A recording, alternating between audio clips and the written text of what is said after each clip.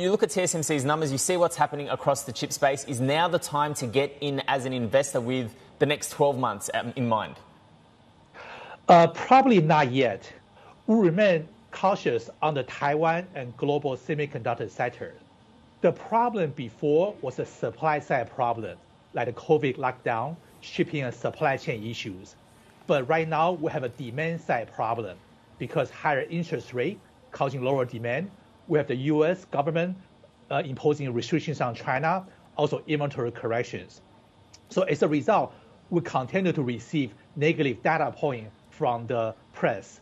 Uh, for example, we saw profit warnings for AMD, also Applied Materials. We saw Intel now plans to cut hundreds, actually thousands of jobs. We saw IDC recently reported global PC shipments were down more, by more than 20% year on year for 3Q. Uh, of course, you mentioned earlier, I think, uh, about U.S. Uh, government restriction on China semiconductors. So unfortunately, we'll continue to see negative data point for next several quarters. So I expect to see negative sentiment for next two to three quarters. So Will, to answer your question, probably the better time to get into semiconductor stock is sometime in the first half of next year. I think first half of next year will be the bottom of the semiconductor inventory correction cycle. That might be a better time to get in right now. But unfortunately, at this time, we'll continue to see negative data point for next several months.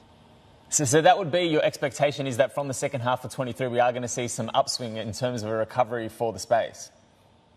I think so. The biggest problem is, is inventory correction. During the conference call yesterday on TSMC, the CEO C.C. Wei mentioned correctly, which I agree, is that we expect to see the worst inventory correction in the first half of next year.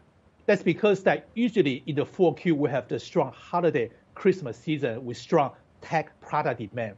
But this year, unfortunately, we might see worse than expected demand. That means that going to first half next year, we're going to have more inventory than we need. So probably goes through one or two quarters of painful quarters. That might be a good time to start looking into semiconductor stock.